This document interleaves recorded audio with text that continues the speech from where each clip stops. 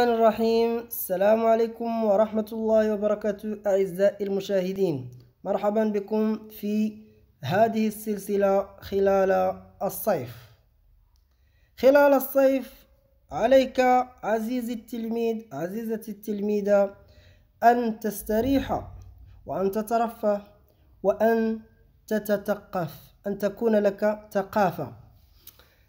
فالسؤال الثالث قبل أن أضع السؤال الثالث سأقوم بالحل أو جواب السؤال السابق.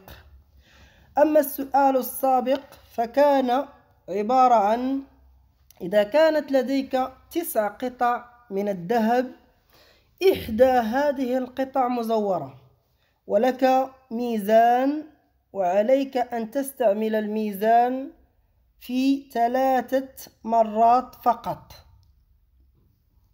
بمعنى يجب ألا تتجاوز ثلاث استعمالات للميزان.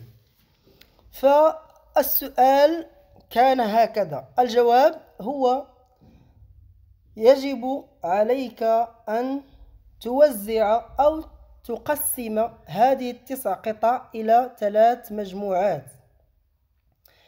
بمعنى كل مجموعة أضع فيها ثلاث قطع. ثلاثة ثلاثة ثلاثة. إذا سأحصل على ثلاث قطع في كل مجموعة. إذا الوزنة الأولى سأضع ثلاثة قطع في الكفة الأولى وثلاث قطع في الكفة الثانية. بمعنى ستبقى لدي ثلاث قطع خارج خارج كفتي الميزان. هنا إذا كان تساوي الكفتين بمعنى أن هذه الست قطع أو, أو المجموعتين لا توجد بهما القطعة المزورة. إذا كان هناك آه، كفة أثقل من كفة فسأعلم أن بداخل الكفة الخفيفة قطعة مغشوشة.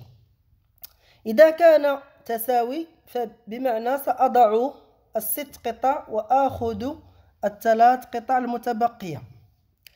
الوزنة الثانية سأضع قطعة واحدة في كل كفة وستبقى لدي قطعة واحدة. إذا كان هناك تساوي بين القطعتين فبمعنى القطعة المتبقية هي القطعة المزورة.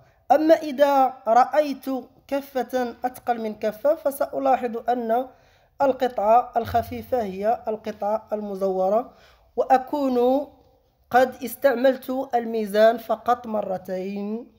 وهذا هو جواب السؤال السابق أو سؤال الأمس.